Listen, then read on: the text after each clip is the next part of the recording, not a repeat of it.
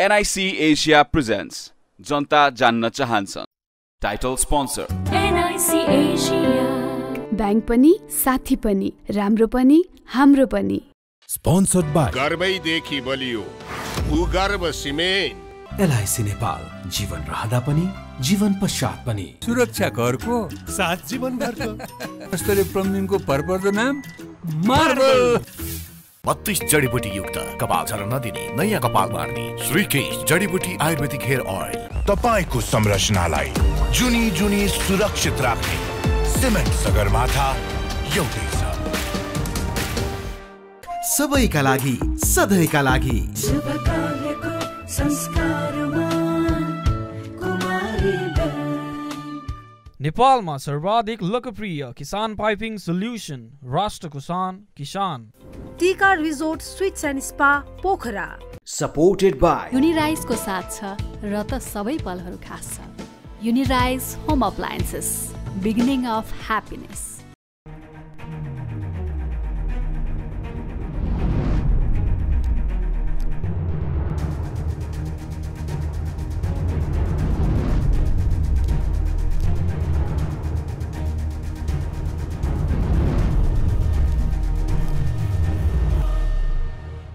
आजको जनता जान्न चाहन्छन् कार्यक्रम हाम्रो बिचमा नेपाल कम्युनिस्ट पार्टी एमालेका नेता पूर्व मन्त्री मुन बानिया हुन्छ बानियाजी तपाईँलाई म जनता जान्न चाहन्छन् कार्यक्रम स्वागत गर्न चाहन्छु। धन्यवाद। सहकारी पीडितहरूलाई तपाईँले न्याय दिन चाहनु भएन।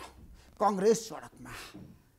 तपाईँहरू किन गृहमन्त्रीको बचाउमा लाग्नुभयो? जनता जान्न चाहन्छ। सहकारी पीडितहरूको न्याय दिएन कसले भन्यो? जनताले भनिरहेछन्। होइन एमाले त्यसरी साथ त्यसरी दिएन। होइन सहकारी सहकारी पीडित 73 लाख छन् जनताहरूलाई यो जति देशमा सहकारी पीडितहरू छन् तिनले न्याय पाउनुपर्छ भन्ने सरकारको धारणा छ। प्रत्यक्ष चाहिँ नेकपा एमालेको धारणा पनि के छ भन्दाखेरि सहकारीबाट पीडित भएका जुन मिटर ब्याजीहरू पनि चाहिँ त्यसैमा छन्। यसको बारेमा पटक पटक सरकारले पनि यसको बारेमा पनि ध्यान आकर्षण भएको माग होइन। यसको बारेमा छानबिन समिति भन्न यसको चाहिँ सरकारले चाहिँ यसको बारेमा चाहिँ का कार्यान्वयन नै चाहिँ अगाडि बढाउने चाहिँ अगाडि नै छानबिन समिति। बन्नु पर्दैन होइन यसो बटम लाइन के हो? जनता जान्न चाहन्छ बताउनुहोस् न आज। यसको बारेमा त छानबिन समिति किन बन्नु पर्यो? छानबिन समिति चाहिँदैन। होइन यो सहकारी। पीडितहरू जुन जति छन् सहकारी पीडितले न्याय पाउनुपर्छ भन्ने खालको त सरकारको धारणा नै छ। यसको बारेमा चाहिँ का कानुन बनाउनुपर्छ। थप चाहिँ यसको लागि चाहिँ कडाइका साथ कानुन बनाउनुपर्छ र यसको चाहिँ कार्यान्वयन गर्नुपर्छ यसको लागि त्यो हो। समिति बनाउने लिङ्गरिङ गर्ने त्यसको बारेमा फेरि प्रतिवेदन चाहिँ दिने प्रतिवेदन चाहिँ ल्या- ल्यान्डी गर्ने विभिन्न किसिमको चाहिँ यसले गर्दाखेरि त कार्यान्वयनतर्फ चाहिँ जाने होइन त्यसलाई चाहिँ झन् थप त्यो पीडित बनाउने कामहरू हुन्छ। त्यसै कारणले यसलाई चाहिँ एक्सनमै चाहिँ सरकारले जानुपर्छ। होइन तपाईँहरूले चाहिँ नि आजको दिनमा संसदीय छानबिन समिति बनाउनको लागि किन अवरोध गरिराखेको त? किन रोकिराखेको? होइन? यो संसदीय छानबिन समिति अब यो गृहमन्त्री रवि लामिछानेको बारेमा सन्दर्भका कुरा गर्दै हुनुहुन्छ तपाईँ। अब यो छानबिन समिति यो के छ भन्दाखेरि कतिपय कुराहरू चाहिँ मौसमी बाजा बजाउने चाहिँ बेमौसमी बाजा त सुर न तालको बाजा भने जस्तो यो यसले गर्दाखेरि पनि कतिपय ताल छानबिन चाहिँ गर्ने छानबिन नगर्ने होइन। तर वास्तवमा के छ भन्दाखेरि यसको चाहिँ तथ्यगत प्रमाणको आधारबाट अथवा चाहिँ यो चाहिँ न्यायालयमा चाहिँ गएको अ, गइसकेका अवस्थामा चाहिँ न्यायालयले चाहिँ नि यसको चाहिँ निरूपण गर्न सक्छ। र अर्को कुरा के छ भन्दाखेरि यी छानबिन सरकारी ठगी प्रकरण न्यायालयमा गएको छ र? होइन। चाहिँ रवि लामी छानेको सन्दर्भमा त न्यायालयमा चाहिँ मुद्दा दायर भइसकेको भन्ने खालको चाहिँ छ है। त्यो भयो भने चाहिँ न्यायालयले चाहिँ निरूपण गर्छ यसको बारेमा। र यहाँ छानबिन समिति गरिरहनु पर्ने चाहिँ जस्तो चाहिँ मलाई लाग्दैन। त्यसो छानबिन समितिको उचित आवश्यकता छैन। यो अहिले चाहिँ तत्काल चाहिँ आवश्यकता छैन किन भन्दाखेरि उहाँलाई कुनै चाहिँ मिडियाले लेखेको भरमा कसैले चाहिँ विरोध गरेकै भरमा यसलाई कसैले हरेक कुराहरूको अपभ्रंश गरेकै भरमा अब यो गर्नुपर्ने चाहिँ तत्कालमा चाहिँ भन्दा पनि अब न्यायालयमै गइसकेपछि न्यायालयले नै निरूपण गर्नुपर्छ। त्यसो भए मलाई के बताउनुहोस् भन्दाखेरि गृहमन्त्रीमाथि छानबिन गर्न सरकार तयार छैन। अहिलेको आवश्यकता होइन। गम्भीर यसको औचित्य छैन भने तपाईँको निष्कर्ष। होइन। ठ्याक्कै भन्नुहोस् है? व्याख्या नगरिकन जनताले। तपाईँलाई जनता जान्न गम्भीर चाहन्छ। प्रकृतिको चाहिँ केसहरूमा चाहिँ गर्नुपर्छ। किनभने चाहिँ त्यसको चाहिँ नैतिकताको आधारबाट गृहमन्त्रीले राजीनामा दिनुपर्ने परिस्थितिको सिर्जना भए भएमा राजीनामा पनि दिनुपर्छ। तर यो चाहिँ हल्लाको भरमा अथवा चाहिँ कसैले भनेको भरमा तथ्यगत प्रमाण चाहिँ आधार तत्कालीन चाहिँ उपलब्ध नभइराखेको अवस्थामा यो न्यायालयमा कोही व्यक्ति गयो अथवा चाहिँ म सहकारीका पीडितहरू न्यायालयमा गयो भने न्यायालयमा चाहिँ कारवाही चाहिँ सुरु भइराखेको अवस्थामा चाहिँ छानबिन समिति गर्नुपर्ने चाहिँ। थापाले भनिसक्नुभयो चाहिन्छ छानबिन समिति। होइन गगन थापाले त विभिन्न किसिमको नौटङ्की आफ्नै बारेमा चाहिँ थाहा छैन। अब चाहिँ अब विभिन्न गाँस अर्काको बारेमा नौटङ्की गरिराख्नु भएको छ। एउटा औँला तेर्सै राख्नु भएको छ चारवटा औँला आफूतिर छन्। गगन थापाले त होइन। सहकारी ठगी प्रकरणले गृहमन्त्रीको संलग्नता बारे उहाँले त पार्लियामेन्टमै बोल्नुभयो ठिक छ। पार्लियामेन्टमा पार्लियामेन्टमा चाहिँ नेपाली कङ्ग्रेसले परम प्रतिपक्षीय दल नेपाली कङ्ग्रेसले विरोध गरिराखेको छ। यसको बारेमा चाहिँ हाउस अवरोध गरिराखेको छ ओइल गरिराखेको छ त्यो कुराहरू चाहिँ सबै नेपालीलाई जानकारी छ। तर वास्तवमा के छ भन्दाखेरि नर्मल कुराहरूलाई चाहिँ अब लाई लिएर चाहिँ मेजर बनाएर चाहिँ देशको चाहिँ एउटा चाहिँ पार्लियामेन्टमा कुनै किसिमको चाहिँ यो बिजनेस नदिने हाउसलाई बिजनेस नदिने महत्त्वपूर्ण चाहिँ अब अहिले चाहिँ तपाईँको बर्खेस चाहिँ सेसन छ बजेट अधिवेशन हो। बजेट अधिवेशनमा तमाम कुराहरू छन्। सोह्रौँ पञ्चवर्षीय योजनाको चाहिँ छलफलको कुरा छ। बजेट चाहिँ अब नीति कार्यक्रमको छलफलको कुरा छ।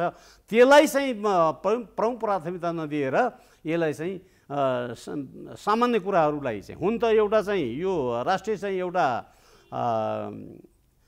भनौँ न प्राथमिकताको कुराहरू भए पनि तर वास्तवमा यो कुरालाई चाहिँ मेजर बनाएर चाहिँ गौण कुरालाई चाहिँ मेजर बनाउने र मेजर कुरालाई चाहिँ अब यसलाई चाहिँ छायामा पार्ने नेपाली कङ्ग्रेसले गरिराखेको छ। यो गर्नु हुँदैन। यसको बारेमा सरकार र चाहिँ प्रतिपक्षी लगातार तपाईँहरू पिलेर जानु भएको छ। सभामुखले पेलेको पेलै छ प्रतिपक्षलाई होइन सभामुखले पेलेको चाहिँ होइन। नीति र कार्यक्रम। पारित भयो। सभामुखले उनले अरूले छलफलमै भाग। होइन जे जे चाहिँ मागहरू थप थप अरू थप मागहरू चाहिँ तेर्स्याउँदै जान्छन्। अनि जे जे उदण्ड चाहिँ गर्दै जान्छन् त्यसमा चाहिँ पेलेको भन्ने कुरा होइन। सभामुखले आफ्नो चाहिँ नीति कार्यक्रम आफ्नो चाहिँ अधिकारको चाहिँ पालना गर्नुभएको अधिकारको चाहिँ एउटा लागू गर्नु कार्यान्वयन गर्नुभएको चाहिँ त्यो पेलेको कुराहरू होइन। जसले जे भन्दै जान्छ त्यसलाई चाहिँ त्यो मान्दै जाने हो भने चाहिँ यो सभामुखको मर्यादा त्यसमा तपाईँहरूको दबाबमा सभामुख जानुभयो? द- ओलीको छ नि। होइन दबाबमा होइन। दबाबले गर्दाखेरि सदनमा आज प्रतिपक्षलाई पेलानेको नीति सभामुखले लिनुभयो त्यो। होइन त्यो कुरा त जनताले भनिरहेको। सभामुख आफै जानकार हुनुहुन्छ। सभामुख आफै जानकार हुनुहुन्छ पार्लियामेन्ट्री सिस्टम बुझेको व्यक्ति हुनुहुन्छ। उहाँले चाहिँ अब आफ्नो चाहिँ नीति कार्यक्रमहरू चाहिँ एउटा नैतिकता र नीतिको एउटा चाहिँ जिम्मेवारीको आधारबाट चाहिँ उहाँले चाहिँ अगाडि बढाउनुहुन्छ। न कि कसैले चाहिँ एउटा जुन पार्टीबाट एफिलिएट हुनुहुन्छ जुन पार्टीबाट चाहिँ सभामुख चाहिँ चयन हुनुभएको छ त्यो पार्टीको चाहिँ पक्ष पोषण गर्ने र अरू प्रमुख प्रतिपक्षलाई चाहिँ पेल्ने भन्ने खालको चाहिँ कुराहरू होइन। सभामुखले आफ्नो चाहिँ जिम्मेवारी वहन गर्नुभएको छ। त्यस त्यसरी चाहिँ अब बुझाइको फरक हो त्यो। होइन देशको सभामुख हो तपाईँलाई थाहा छ होइन? आजको दिनमा सबै पक्षको प्रिय हुनुपर्छ निष्पक्ष हुनुपर्छ सभामुख भनेको सत्ता पक्ष र प्रतिपक्षको। मध्यमार्गी भूमिका निर्वाह गर्नुपर्छ सभामुखले त्यो स्वाभाविक हो। तर वास्तवमा चाहिँ यो पेले भन्ने खालको जुन जुन आरोप मिथ्या आरोप छ बाहिर चर्चा छ? रोड गल्लीमा सडक गल्लीमा चाहिँ अथवा चाहिँ हाउसमा प्रतिपक्षले घेराउ गरिरहेछ अवरोध गरिरहेछ। सभामुखले यो त चाहिँ सदन चलाइरहनु भएको छ सञ्चालन गरिरहनु भएको छ नि त। यो नेपालको नेपालको पार्लियामेन्टमा राम्रा कुराहरू कहाँ हुन्छन्? यस्तै खालका चाहिँ कुराहरू कोचलो ल्याएर विभिन्न किसिमका इस्युहरू गलत गलत खालका इस्युहरू ल्याएर राष्ट्रको विकासमा चाहिँ ठेस पुर्याउने चाहिँ म- म- राष्ट्र विकासमा कति लक्ष्य प्रगति भएको छ त्यो थाहा छैन। उन्नति प्रगति के भएको छ त्यो थाहा छैन। गएको सरकारले गरेका चाहिँ अगाडि सारेका चाहिँ योजनाहरूको बारेमा के छ त्यो थाहा छैन। त्यो साना साना कुराहरू ल्याएर चाहिँ म- हाउस अवरुद्ध गरेर अनि सरकारका नीति कार्यक्रमहरूदेखि लिएर सम्पूर्णमा चाहिँ अ, बाधा पुर्याएर चाहिँ सरकारलाई फेरि फेलियर बनाउने सरकार कमजोर बनाउने यस्तो खालको चाहिँ उहाँहरूको चाहिँ त्यो षड्यन्त्रमूलक ढङ्गले उहाँहरू लाग्नु भएको छ। त्यसो भए ठ्याक्कै मलाई के बताउनुहोस् भन्दाखेरि अब बजेट पनि आउँदैछ सरकारको नीति र कार्यक्रम आज पारित भयो। अब कङ्ग्रेस सडकमा छ। कङ्ग्रेसको मागलाई सम्बोधन गर्न प्रतिपक्षको मागलाई सम्बोधन गर्न सरकार तयार छैन? यो प्रतिपक्ष ठिक छ प्रतिपक्षले जायज माग ल्यायो भने किन सम्बोधन नगर्नु? प्रतिपक्षले जायज माग ल्यायो भने सम्बोधन गर्नुपर्छ। तर चाहिँ विरोधको लागि विरोध। विरोधको लागि विरोध गर्ने हो भने चाहिँ त्यो माग सम्बोधन हुन सक्दैन। विरोधको लागि विरोध गर्नु भएन नि। हो त्यसै कारणले मागहरू चाहिँ जायज हुनु पर्यो। जायज मागलाई चाहिँ सम्बोधन गर्नुपर्छ। प्रत्यक्ष रूपमा चाहिँ नेपाली जनताले चाहिँ यहाँ पछाडिबाट हेरिराखेका हुन्छन्। यसको जायज छ कि अन्जायज छ? विगतका दिनहरूमा नेपाली कङ्ग्रेसले चाहिँ त्यो कारवाही गर्नु पर्दैन थियो। छ महिना गर्दा। सन्ताउन्न दिन गर्दा तिस दिन गर्दा चाहिँ ठिक हुने अनि कङ्ग्रेसले गर्दा चाहिँ बेठिक हुने। होइन रवि लामी नीति। होइन सहकारी ठगी रवि लामी छानेले एक महिना अगाडि मात्र गरेको होइन नि त।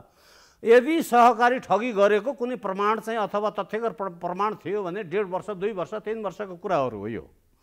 ग्यालेक्सी टेलिभिजनमा चाहिँ ऊ एउटा कार्यकारीमा रहेको कुराहरू त्यो पहिल्यै थियो। त्यो गर्नु पर्दैन? कङ्ग्रेस प्रकरणमा राष्ट्रिय प्रजातन्त्र पार्टीले गीता बस्नेतलाई कारवाहीको सिफारिस गर्यो। प्रहरीले कारवाही गर्ने भनेर पनि निर्णय गरिसक्यो। प्रतिवेदन तयार पारिसक्यो। तपाईँ के भन्नुहुन्छ। एमालेको रणनीति के हो? होइन त्यो ठिक छ।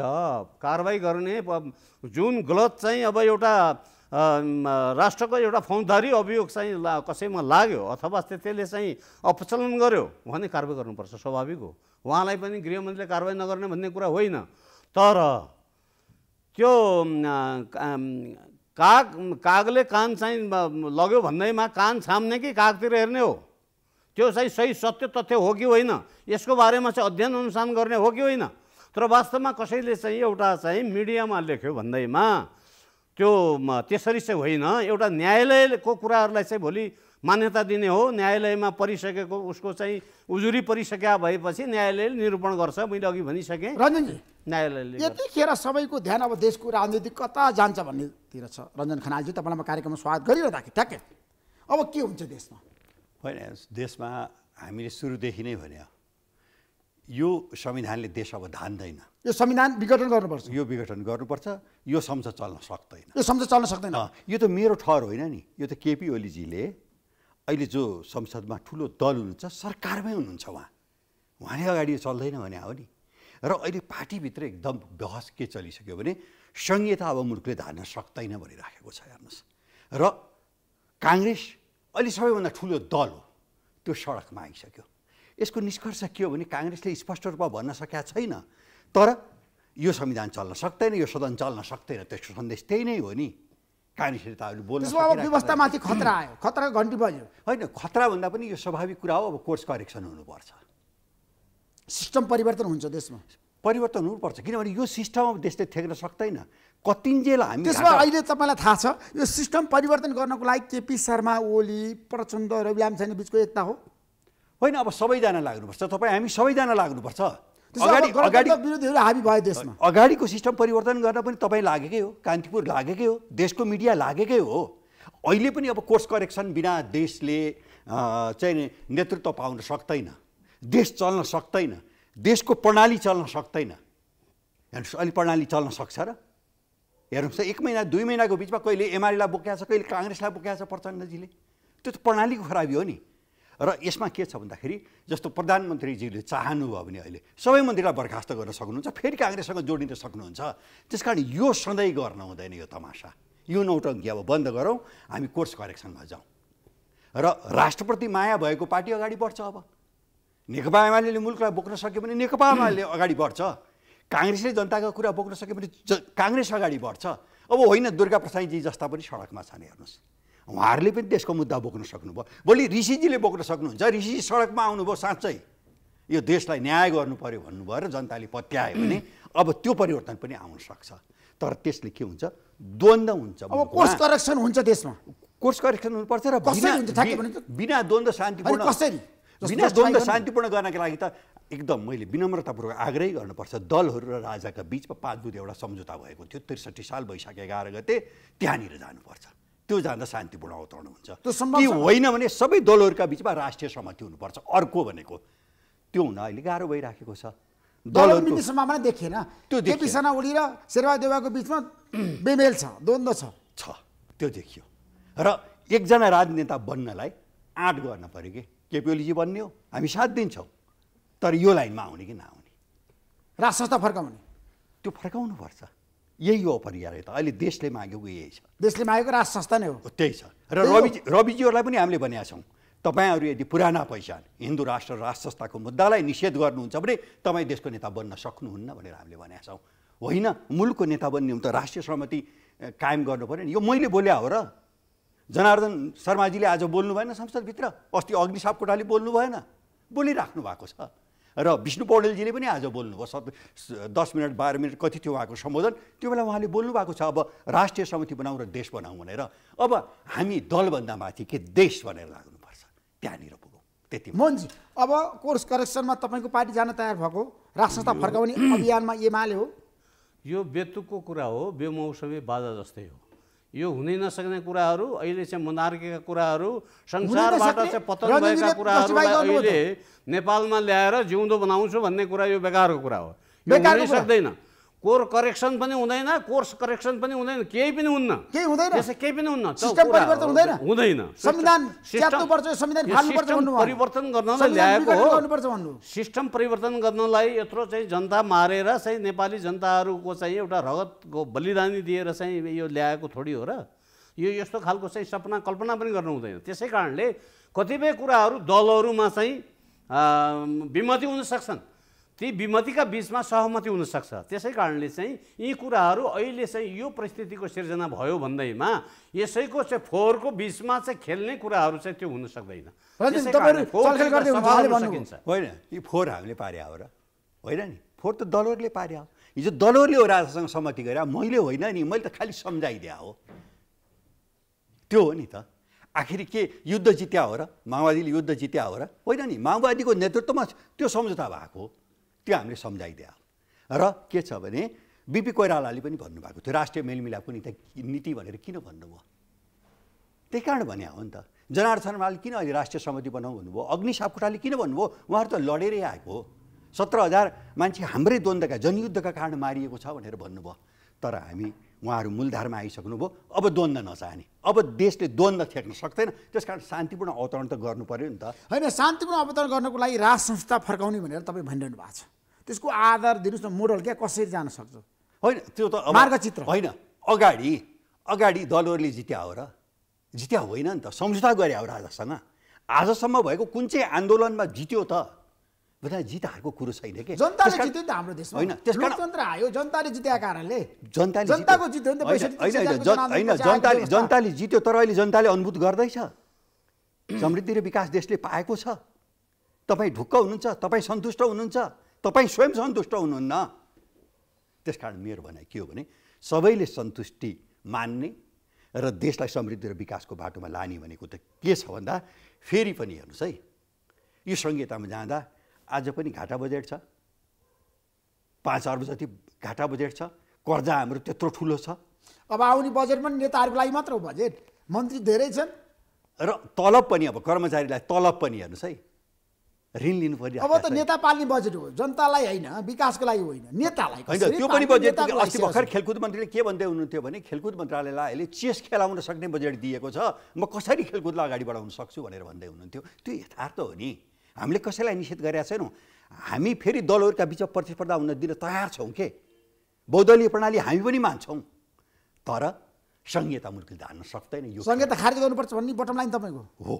त्यो यो- सम्भव सम्भव हुन्छ र यो प्रणालीमा अर्को पनि दोष छ हेर्नुहोस्। प्रधानमन्त्रीले जहिले सुकै नभएका। कुराहरू चाहिँ बोल्नुहुन्न किन भन्दाखेरि उहाँको विचारमा चाहिँ त्यो हुन सक्ला। तर चाहिँ वास्तवमा के बैसठी त्रिसठीमा को जनआन्दोलन फोकटमा चाहिँ जनताले चाहिँ मजाको लागि गरेको हो।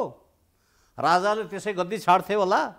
र दस वर्ष जनयुद्ध मा माओवादीले सुरु गरेको जनयुद्ध त्यो फोकटमा चाहिँ सत्र हजार जनताको चाहिँ रगतको बलिदानी चाहिँ दिएको त्यो फोकटमा हो।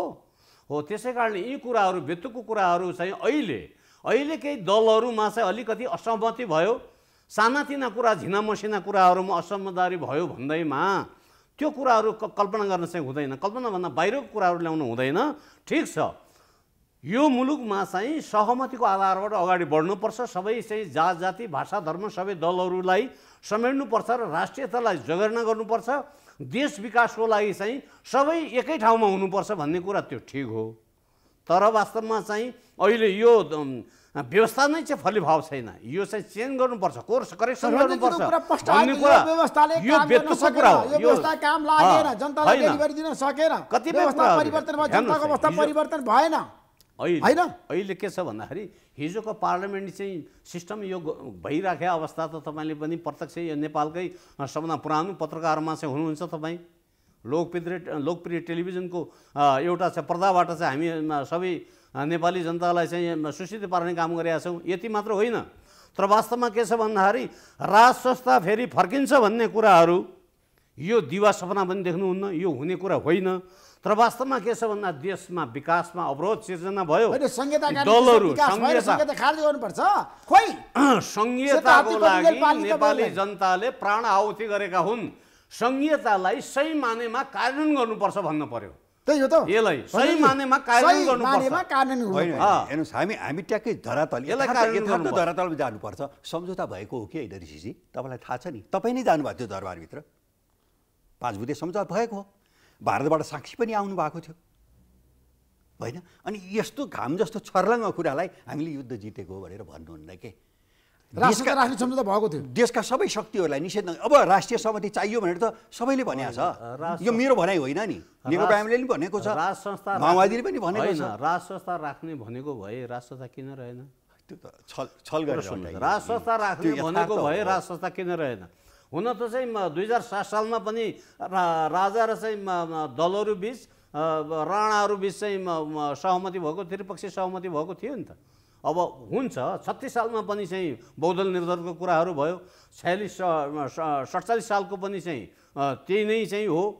सबै कुराहरू त्यही नै हो नि। सहमति राजाले चाहिँ अब यो जनताहरूले आन्दोलन गरे यो व्यवस्था शासन व्यवस्था चाहिँ जनताले रुचाएनन्। जनताको नासो जनतालाई फर्काइदिए भनेर राजाले चाहिँ आफै घोषणा गरे होइन अनि फेरि म फर्किन्छु भनेर राजाले अहिलेसम्म भने अवस्था छैन हो राजाका पछि लागेर केही गर्न सकिन्छ केही चाहिँ अब धमिलो पानीमा माछा मार्न सकिन्छ भन्ने खालको चाहिँ केही तत्त्वहरूले त्यो चाहिँ सपना देखेका छन् दिवा सपना सडकमा। जनता आइराखेका छन् होइन आएका। छैनन् आउँछन्। माइती घरमा दुई चारजनाले चाहिँ ब्यानरहरू तुलहरू देखाउनु भन्ने कुरा अर्को हो। तर चाहिँ नेपाली जनता ती दुई करोड चाहिँ नब्बे लाख चाहिँ नेपाली जनताहरू चाहिँ उत्रिएको छैन। बैसठी त्रिसठी को आन्दोलन जस्तो चाहिँ भइराखेका थोरै हो। त नाराबाजी त डेली भइराखेको छ कसलाई के चित्त बुझ्दैन। कसलाई चाहिँ एउटा मनोगत भावना चाहिँ कसले चाहिँ कहाँ दर्शाउँछ भन्ने कुरा आफ्नो ठाउँ कुरा हो। यो मल्टिपार्टी सिस्टममा बहुदलीय सिस्टममा यही हो। कसैले नारा लगाइराखेका हुन्छ कसैले पास गरिराखेका हुन्छ कसैले कार्यान्वयन गरिराखेका हुन्छ विभिन्न खालको चाहिँ रङ्गी बिरङ्गी चाहिँ एउटा चाहिँ काम हुन्छ। बहुदलीय सिस्टममा यही हो। कसैले नारा लाउने पनि छुट छ गाली गर्न छुट छ बोल्न छुट छ दुईवटा नागरिकता लिन छुट छ भ्रष्टाचार गर्न छुट छ सारा गर्न छुट छ।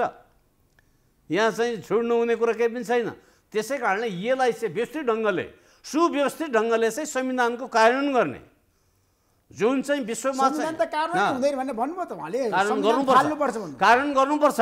दलहरूले दलहरूले मनोगत ढङ्गले चाहिँ यो मुलुक चलाउनु हुँदैन। कारण गर्नुपर्छ। यो कुरा एउटा स्वाभाविक पनि हो। तर चाहिँ उहाँले सपना देखेर चाहिँ अब नयाँ किसिमको चाहिँ हुन्छ। यो चाहिँ व्यवस्था नै चाहिँ अन्त गर्नुपर्छ भन्ने कुरा बेकार हो। यो हुनै सक्दैन। होइन यो त जनताको आवाज हो। हामीले त के सडकमा जनता छन् र। सडकमा जनता आइसके र दलभित्र। दलभित्र? माओवादीको अस्तिको केन्द्रीय बैठकमा कुरा उठाएको थियो मैले यहाँलाई सम्झाउँ। माओवादी केन्द्रीय समिति बैठकमा हो। र एमाले भित्र राष्ट्रता फर्काउनुपर्छ भनेर। के छ भने त्यो त सहमति भएको कुरा त छ नि त। सहमति भएको कुरा छ पाँच बुधे सहमति भएको सम्झौता भएको कुरा सोध्नुहोस् न यहाँले। प्रचण्डलाई सोध्न सक्नुहुन्छ। प्रचण्डकै अगुवाईमा भएको केपी ओलीलाई सोध्न सक्नुहुन्छ। पाँच बुधे सम्झौता भएको छ। उहाँहरू बेला सहभागी हुनुहुन्थ्यो पाँच बजी सम्झौतामा हो एकदमै हो। सात दल फर्काउने। सात दल माओवादी र बिचमा त्यो सम्झौता भएको छ। फर्काउनु त के भने समयले तपाईँले कस्तो। सम्झौता गरे यो दरबारसँग त्यस्तो खालको दरबारमा राज संस्था फर्काउने भन्ने खालको बेबेकिङ राख्ने अर्को राख्ने भन्ने खालको केही पनि भएको छैन। यो कुरा। कसैले पेपरको पेपरको चाहिँ पृष्ठमा लेख्यो होला कसैले हेडलाइन लेख्यो होला कसैले युट्युबमा लेख्यो होला त्यो अर्को कुरा हो। तर राजासँग त्यसरी चाहिँ दल बिचमा चाहिँ राज संस्थालाई राख्ने भनेको भए अनि तपाईँहरूको झगडाले गर्दाखेरि दलहरूको बिचमा छ नि मतभेद छ नि त। तीव्र असन्तुष्टि छ। मतभेद भन्ने कुराहरू भिन्न कुरा हो।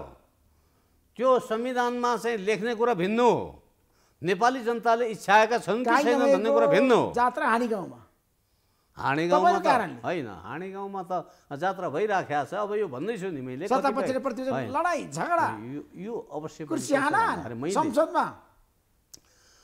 प्रमुख प्रतिपक्ष दलले रचनात्मक सहयोग गर्नुपर्छ। सत्तापक्षलाई भोलिको चाहिँ वेटिङ गभर्मेन्ट हो नि। उसले गर्नुपर्छ भोलि त्यो हिजो त्यो सरकारमा थियो भने अहिले चाहिँ सरकारभन्दा बाहिर चाहिँ अपोजिट बेन्चमा बसेको छ भोलि चाहिँ एउटा उसमा सरकारमा जान्छ। तर त्यसले चाहिँ आफू प्रतिपक्षमा बस्दाखेरि हिजोका सहमतिहरू रवि लामिछानेलाई चाहिँ डेढ वर्ष प्रधानमन्त्री भइदिनुहोस् भने चाहिँ हार गुहार गरेको होइन। रवि लामिछाने एमाले प्रधानमन्त्री बनाए हुन्छ नि त। होइन उहाँहरूले नेपाली कङ्ग्रेस अगाडि सारेको प्रस्ताव हो। अब। रवि रवि प्रधानमन्त्रीमा चाहिँ मन्जुर नगरिसकेपछि चाहिँ एमाले बनाउनु विरोध आयो नि त। सम्भावना छ नि एमालेको नेतृत्वमा। सरकार बन्दैन अब राष्ट्रिय स्वतन्त्र पार्टीको नेतृत्वमा बन्छ। होइन त्यो त चाहिँ शीर्ष नेताहरूले त्यो छलफल गरेर नेकपा माओवादीको चाहिँ नेतृत्वमा अहिले भइराखेको छ एमालेको नेतृत्वमा हुनसक्छ अर्को चाहिँ स्वतन्त्र पार्टीको पनि हुनसक्छ। अब ती कुराहरू चाहिँ उहाँहरूले चाहिँ भद्र सहमतिमा के गर्नुभएको छ यो कुराहरू नेताहरू जान्दछन् यो कुराहरू मैले भन्दा पनि। रञ्जनजी अहिलेको अवस्थामा तपाईँले राज संस्था फर्काउँछ भनेर भनिरहँदाखेरि त्यसको आधार दिनु भएन। होइन जनताले कसरी फर्काउँछ? होइन आधार- दिइसक्यो नि यो संस्था चल्न सक्दैन नि। यो त जनताले फाले हो नि त। जनताले फालेको संस्था कसरी बिउतिन्छ होइन जनताले फाल्यो कि फालेन त्यो यहाँलाई पनि थाहा छ। हामीलाई पनि थाहा छ। बाह्र बुधे सम्झौता पनि दिल्लीमै भएको त्यसलाई हामीले इन्कार गर्न सक्छौँ र। सक्दैनौँ। अन्तर्राष्ट्रिय रिकग्निसनका कुरामा हामीले मान्नुपर्छ के?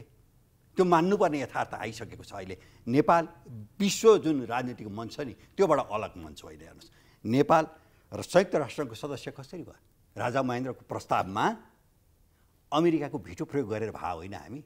भन्दा त्यो त के छ भने हाम्रा विकास र हामीलाई विश्व समाजमा लानका लागि पनि छिमेकी मुलुकहरूले सहयोग गर्न सक्छन्। त्यो अवस्था आउँछ।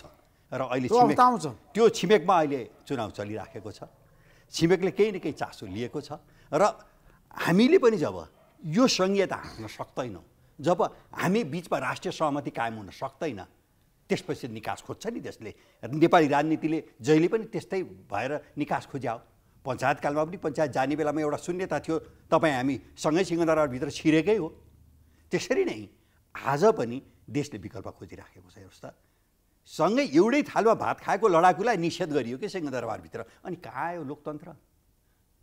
अनि अर्को कुरा हेर्नुहोस् है। एउटा विद्यार्थीले यहाँ रोजगारीको अवसर सिर्जना हुन सकेन। घाँसपास कपासको त हामीले नारा समस्या तर होइन मैले यो कुरा यो यो कुरा मैले हजुरलाई भन्नै पर्छ म निवेदन गर्न चाहन्छु। होइन। बालकुमारीमा दुईवटा निहत्ता परीक्षा दिन जाउँ र रोजगारीमा जाउँ भन्ने मान्छेलाई गोलीले उडाइया होइन। त्यो हत्या हो भनेर प्रधानमन्त्रीले भन्नुभएको छ तर कुनै दलले त्यो हत्या हो भनेर भन्न सक्यो। त्यस कारण लोकतन्त्र के? नागरिकहरूलाई पनि आउनु पऱ्यो कि परेन? त्यस कारण त यो लोकतन्त्रमा करेक्सन चाहिएको छ। गणतन्त्र दिवस आउँदैछ जेठ पन्ध्र गते। होइन गणतन्त्र दिवस मनाऊ केही पनि छैन तर नागरिकले अनुभूत गर्न सक्ने लोकतन्त्र आउनुपर्छ कि पर्दैन? त्यो हो मेरो भनाइ। अनि जनता बाँच्न नपर्ने जनतालाई गोलीले उडाइदिने अनि तपाईँ हामी चाहिँ पटक पटक मन्त्रीमण्डल फेरेर अनि हामी रमाइराख्ने यसैको लागि ल्याए हो लोकतन्त्र। लोकतन्त्र त चल्नु पऱ्यो नि देशमा समृद्धि र विकास साँच्चै हुनु पऱ्यो नि। त्यस कारण हाम्रो भनाइ चाहिँ के हो भन्दाखेरि हामी कसैलाई पनि निषेध गर्दैनौँ। बहुदलीय प्रजातन्त्रमा हामी विश्वास राख्छौँ। गरौँला प्रतिस्पर्धा। तर देशलाई निकास दिउँ न त। केपी ओलीजी बन्यो भने केपी ओलीजीलाई पाँच वर्ष मुलुकको प्रधानमन्त्री बन्न दिउँ न त। त्यो अवस्था सिर्जना गर्न सक्छौँ भने गरौँ चलाउँ त्यो संसद। हाम्रो शुभकामनै छ। तर निहत्ता जनतालाई परीक्षा दिन पाऊँ भन्दा गोलीले उडाइदिने अनि लोकतन्त्र छ भनेर भन्ने मिलापत्रमा हत्याका कुरा टुङ्गिन्छन्। टुङ्गियो नि त्यो। मुद्दा परेन भिन्दै कुरा हो। उहाँहरू कमजोर हुनुहुन्थ्यो सांसदहरू लाग्नुभयो सबै लाग्नुभयो। त्यस कारण त हामीले के भनिरहेको छौँ भने यो व्यवस्थाले जस्तो ठगी प्रकरणमा छानबिन समिति आवश्यक छ कि छैन? हेर्नुहोस्। संसदीय समिति त्यहाँभित्र चौधवटा संसदीय समिति छन्। कृषि तथा सहकारी समितिको सभापति आर्जु देउबा हुनुहुन्छ। उहाँ अहिले प्रतिपक्षी दलको नेता पनि हो प्रभावशाली महिला नेत्री हो। किन छानबिन नगरे थियो कृषि तथा सहकारी समितिले? किन चाहियो संसदीय समिति? भोलि भोलि उहाँका पुरामा कुरै कुरा उठ्ला अरे। अनि संसदीय समिति त्यहाँ फेरि अर्को छानबिन समिति बनाउने? कि ठिक छ? के अरे सडचालिस साल यताका सबै भ्रष्टाचारका मुद्दाहरूलाई केलाउने सबै सहकारीका मुद्दालाई केलाउने भने उच्च स्तरीय छानबिन समिति बनाइदिउँ न त पूर्व प्रधान न्यायाधीशको नेतृत्वमा। त्यहाँ सबै हामी सहमत हुन सक्छौँ।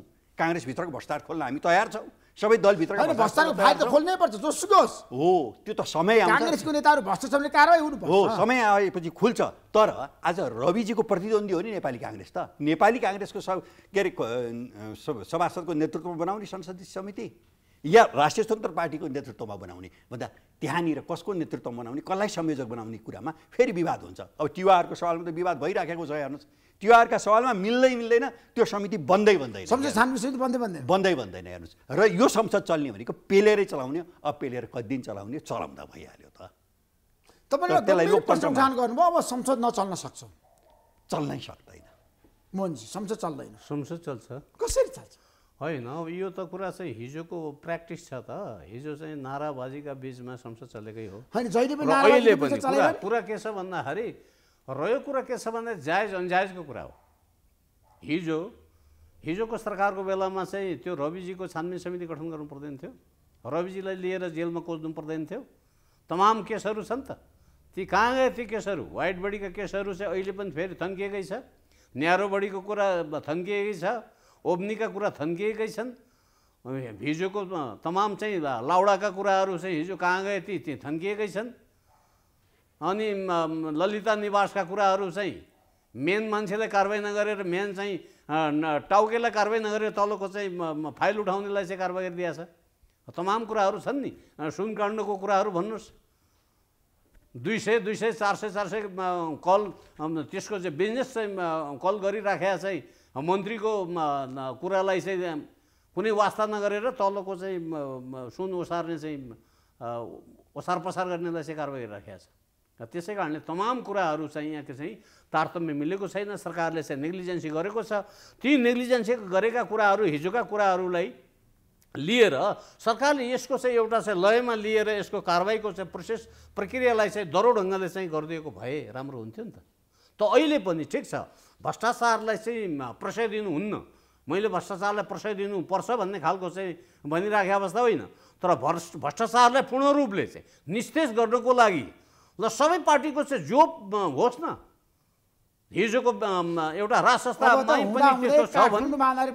मेयर बालेन शाहले। नेताहरूको घरमा लगेर फोन थुप्राइदिनु भएको छ। धुलो चाहिँ थुप्राइदिनु भएको छ। होइन। बालन शाहले त नगरको चाहिँ प्रमुख बालन शाह हुनुहुन्छ। बालन शाहले गर्नुपर्ने आफ्नो नगरमा सरसफाइ गर्नुपर्ने त्यसको ठिक छ? उहाँले आफ्नो रफ्तारमा कोही पार्टीले चाहिँ अङ्कुश लगाउने स्वतन्त्र व्यक्ति। ठिक छ स्वतन्त्र व्यक्ति हुनुहुन्छ आफ्नो एक्सनमा चाहिँ बालेनले चाहिँ एक्सन ओरिएन्टेड ढङ्गले चाहिँ होइन प्रशंसा पनि होइन न उहाँको चाहिँ घृणा पनि गर्दिनँ। उहाँले आफ्नै ढङ्गले अगाडि बढाउनु भएको छ आफ्नो गाडी आफ्नै ढङ्गले चाहिँ हाँक्नु भएको छ। त्यो कुनै किसिमको चाहिँ यो अर्कै खालको चाहिँ म, जादुमय भइहाल्यो भन्ने पनि होइन। उहाँले चाहिँ म, लेन्नी गरेर यो चाहिँ म, हाइ थुथुई गर्नुपर्ने छिछि गर्नुपर्ने पनि छैन। बालेनले चाहिँ आफ्नो रफ्तार अगाडि बढाउनु बालेन भएको जे छ। गरेर ठिक गर्नु भएको छ रञ्जनजी? बालले त ठिक गर्नुभएको छ। स्थानीय सरकारलाई स्ट्रेन्थन गर्ने भनियो। अधिकार दियो त। बालेनले एकचोटि त्यो सेतो टावर धरारा भन्नुहुन्छ उहाँले। त्यहाँ पार्किङ चलाउन खोज्नुभयो। सङ्घीय सरकारले विरोध गर्यो। अहिले पनि बालेनलाई के छ भन्दाखेरि सडक विभागले म प्रतिकार गर्छु भन्यो। ए बालेनलाई के प्रतिकार गर्न सक्छ सडक विभागले? आफ्नो काम नगर्ने। पन्ध्र वर्षसम्म सडक पन्ध्र। वर्षसम्म हेर्नुहोस् है कलङ्कीबाट महाराजगढसम्मको बाटो पन्ध्र वर्ष बनेको छैन। अर्को मेलम्ची प्रोजेक्ट अर्को? मेलम्ची प्रोजेक्ट हेर्नुहोस् है अडचालिस सालदेखि? आजसम्म बनेको छैन। राजधानीको सडक। हो अनि हामीले समृद्धि र सडक अब अब हेर्नुहोस् है स्थानीय सरकार र सङ्घीय सरकारका बिचमा त्यस कारण हामीले के भनेको भने यो प्रणाली चल्न सक्दैन त्यस कारण हामीले भने हो अब अहिले हामीले हेर्दा के छ भने बालेन पनि ठिक रघुवीर बासेट पनि ठिक भन्न सकिन्छ त। सकिन्न नि एउटा त गलत छ। दुईटा एउटा- ठिक हो रौबीर महाशय कि बालिन शाह होइन अहिलेको समयको प्रतित्व अनुसार त बालिन ठिक हो नि। बालिन ठिक। बालिन ठिक हो। उसले के छ भने जनताले धुलो खाएको देखे महाशयले भन्नु बाल हट हो बालिन शाहको भन्नु भन्नुभयो र उहाँले के भन्नुभयो भने गैर न्यायिक काम गर्नुभएको छ बालेनले। गैर कानुनी काम गर्नुभएको छ भनेर भन्नुभयो। अब त्यसो भने कारवाही गर्न पर्यो नि त। यो यो त के छ भने। बालेनलाई र रघुवीर महासेठ भौतिक मन्त्री मन्त्रीलाई चाहिँ जोड्ने होइन त्यसैलाई तुलना गर्न मिल्दैन। बालेन शाह भनेको चाहिँ नगरको कार्यकारी प्रमुख हो। उहाँ रघुवीर महासेठ पनि देशको एउटा चाहिँ भौतिक योजना मन्त्री हुनुहुन्छ। तर चाहिँ आफआफ्नो किसिमको चाहिँ एउटा प्लानिङ र यसको चाहिँ प्लानिङ प्रोसेस हुन्छ। आफ्नो आफ्नो खालको चाहिँ अधिकार छ। त्यसै कारणले चाहिँ बालेन शाहले गरेका कामहरू र उहाँको चाहिँ एउटा चाहिँ नैतिकतासँग चाहिँ उसको चाहिँ रघुवीर महासेठको चाहिँ नैतिकता जोड्नु हुँदैन। र त्यो त्यो यो ठिक कि यो बेठिक कतिपय कतिपय कुराहरू चाहिँ बालन शाहले चाहिँ अब किनभने स्वतन्त्र पार्टी नै भएको हुनाले त्यसलाई अङ्कुश लगाउने त्यसको कसैको मुलाकात मान्ने खालको कुरा छैन। उहाँले गरिराख्नु भएको छ। तर त्यो सधैँ चाहिँ उहाँले चाहिँ त्यो डोजर लगाउन चाहिँ सक्नुहुन्न बालन शाहले पनि। होइन कतिपय कुराहरू सुझबुझ गरेर कतिपय कुराहरू दुर्गामी असर पार्ने खालको चाहिँ हुन्छ। त्यसै कारणले उहाँले एउटा चाहिँ सस्तो लोकप्रियता कहिलेकाहीँ चाहिँ लागू गर्ने र वा वा गर्ने हाई हाई गर्ने खालको चाहिँ हुनसक्छ। तर त्यसले जस्टका कारणले गर्दाखेरि केही दुर्गामी असर पार्न पनि सक्छ त्यसै कारणले बालन शाहले गरेका कामहरू चाहिँ कतिपय राम्रा पनि छन्। अब तपाईँलाई के लाग्छ? आजको दिनमा बालन शाह छ नि। सरकारलाई त लगाउन सफल हुनुभएको छ सङ्घीय सरकारलाई? होइन तल आउने भन्दा पनि बालिन शाहले त जनताको आवाज प्रतित्व गर्ने हो। काठमाडौँ महानगरको मेयर हो नि उहाँ त स्वतन्त्र एउटा व्यक्ति। एउटा तिस बत्तिस वर्षको ठिटो हेर्नुहोस्। भन्दा जनताले परिवर्तन चाहेको हो नि त। दलहरूको गठबन्धन थियो हेर्नुहोस्। काङ्ग्रेसहरूको त पाँच दलीय गठबन्धन थियो मेयरमा पनि। तर हराइदिनु भयो। नेकपा एमाले पनि हारेकै हो। यत्रो बलियो सङ्गठन हुँदाहुँदै पनि। भन्दा जनताले परिवर्तन त चाहेको छ नि त। र के यथार्थ हो भने हेर्नुहोस् है यथार्थलाई यथार्थ मान्नुपर्छ हेर्नुहोस्। यो के कारणले गर्दाखेरि हेर्नुहोस् कलङ्कीबाट महाराजको बाटो बन्नलाई पन्ध्र वर्ष लाग्यो नि यथार्थ हो नि। मेलम्चीको बत्तिस वर्ष लाग्यो अहिले पनि स्थायी पानी सडक खाल्टा खुल्टी छ धुलाम्मै छ छ। हो त भनेपछि त्यो धुलो जनता सरकारको चाहिँ चासो छैन चिन्ता छैन जिम्मेवारी छैन। जनताप्रति जवाबदेही त छैन। अझ बालिनले त त्यो बाटो रोकिदिन सक्नुहुन्छ। रोक्नु भएन कि? धुलो मात्रै उठाएर पठाउनु भएको छ। त्यो भनेको के भन्दाखेरि पन्ध्र वर्षका बिचमा मैले अहिले रघुवीर महासेठलाई मात्रै जिम्मेवार मान्दिनँ तर पन्ध्र वर्ष त्यो सडक बन्न नसकेको यथार्थ हो नि त। केले गर्दा बनेन? त्यसमाथि छानबिन गर्न सक्छौँ हामीले। को को दोषी छन् भने छानबिन गर्न सक्छौँ फेरि? फेरि एउटा सांस संसदीय छानबिन समितिको माग बालिनजीले गर्ने त्यहाँ। स्वतन्त्र मान्छेहरूले गएर फेरि प्रधानमन्त्रीलाई चाहिँ ज्ञापन पत्र बुझाएर एउटा फेरि स्वतन्त्र संसदीय छानबिन समिति बनाउन सकिन्छ? त्यस कारण हामी यस्तामा अल्मलिनुभन्दा पनि अब के भन्दाखेरि अब चौबिस घन्टाभित्र सङ्घीय सरकारले प्रश्न गरोस् न त कहिलेसम्म त्यो बाटो बन्द के अरे बन बन्न सक्छ? कहिलेबाट चाहिँ नागरिकहरूले धुलो नखाने भनेर त भन्न सक्न पऱ्यो नि त? अनि त्यो कसैले भन्न नसक्ने हेर्नुहोस् है। अनि हत्याको छानबिन समिति बन्यो हेर्नुहोस् है। त्यो प्रतिवेदन नेकपा एमाले प्रतिपक्षमा हुँदा सार्वजनिक गर भनेर भनेकै हो। तर आज त्यो प्रतिवेदन सार्वजनिक भयो त? मुटु छ मुटु भनेर रविजीले पनि भने अब संसदभित्रै उभिएर। तर खोइ तर होइन उहाँ नै अहिले गृहमन्त्री हुनुहुन्छ। त्यो सार्वजनिक त्यो जुन समितिको प्रतिवेदन हो त्यो आज पनि घरलाभित्र छ के? व्यक्तिको हत्या भएको छ नागरिक सार्वभौम सत्ता सम्पन्न नागरिकको हत्या भएको छ। त्यस कारण हामी के छ भने यो मामलामा गम्भीर हौँ एकले अर्कालाई निषेध नगरौँ तर अब देश खोजौँ नेपाली नागरिक खोजौँ अनि मात्रै लोकतन्त्र खोजौँ के? लोकतन्त्र छ तर व्यक्ति हत्या भइराखेको छ। हत्या भन्न सक्दैनौँ हामी। त्यो हत्या भएको प्रतिवेदन बनेको छ प्रतिवेदन सार्वजनिक गर्न सक्दैनौँ। अनि अराजकता बढ्दैन हेर्नुहोस् त। गोली हान्ने मान्छेलाई कारवाही भएको छैन। ए बाबा सरकारी कानुन हातमा लिएर गोली हान्ने नागरिकलाई उडाइदिने। मोहन भानियाजी गोली हान्ने मान्छेले तपाईँले किन कारवाही गर्न सक्नु भएन? होइन गोली हान्ने मान्छेलाई कारवाही यसको चाहिँ कारवाही भइराखेको छ। यो उसमा चाहिँ प्रहरीको चाहिँ आफ्नो साङ्गठनिक हिसाबमा चाहिँ उसले त कारवाही गरिराखेको छ नि। कारवाही गर्यो भने उता लिएर झुन्ड्याएको देखाउने अथवा चाहिँ गरेर घटुवा गरेको छ। अब चाहिँ पदोन्नति हुनुको सट्टा उसको ग्रेड रोक्का गरेको होला घटुवा गरेको होला चाहिँ कस्टडीमा राखेको होला। यसको बारेमा त सरकारले गर्नुपर्ने कुराहरू गरेको छ। मृतकहरूलाई चाहिँ अब अब त्यसको लागि क्षतिपूर्ति दिएको छ। अब नहुनुपर्ने कुरा घटना भयो त्यो वास्तवमा चाहिँ अ, नियतथा जनतालाई चाहिँ मारियो।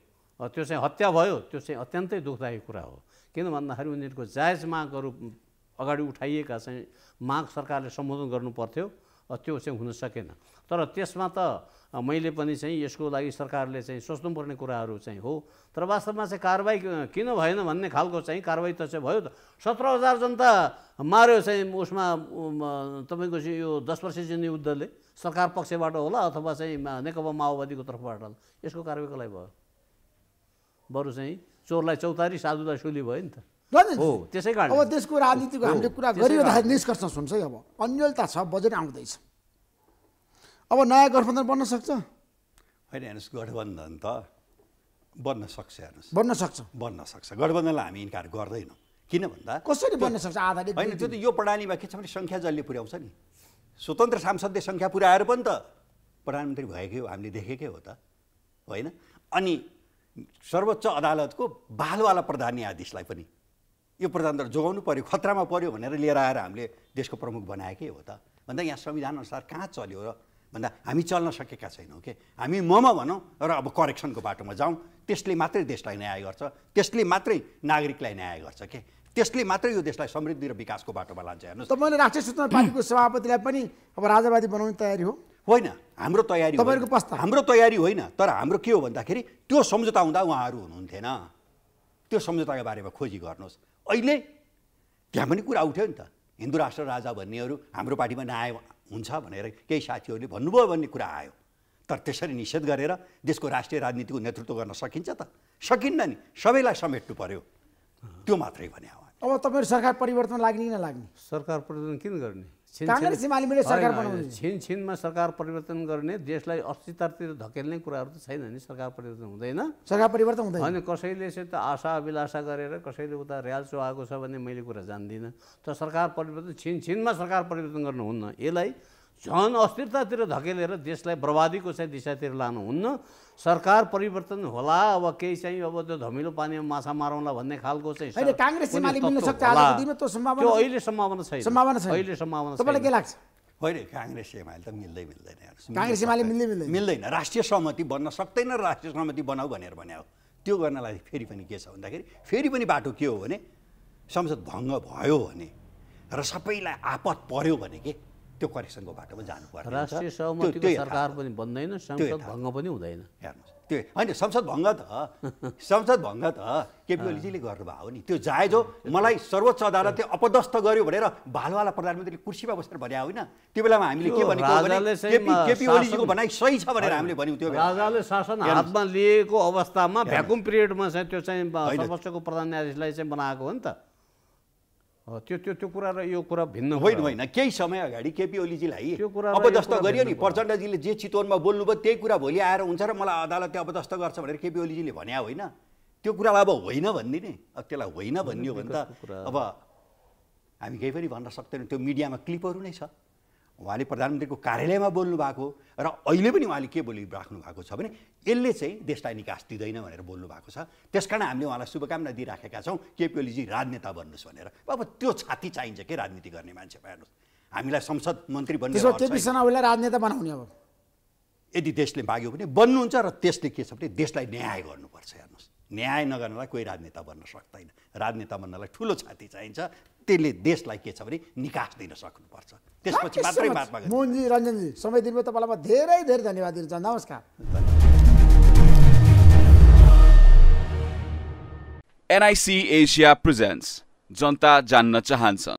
Title sponsor. ब्याङ्क पनि साथी पनि राम्रो पनि हाम्रो पनि। स्पोन्सर्ड बाई गर्वैदेखि बलियो।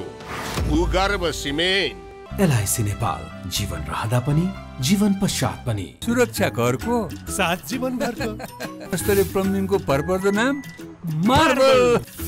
बत्तीस जडीबुटी युक्त कपाल झर्न नदिने नयाँ कपाल बार्ने श्रीकेश जडीबुटी आयुर्वेदिक हेयर ऑयल तपाईँको संरचनालाई जुनी जुनी सुरक्षित राख्ने। सिमेन्ट सगरमाथा एउटै सबैका लागि सधैँका लागि।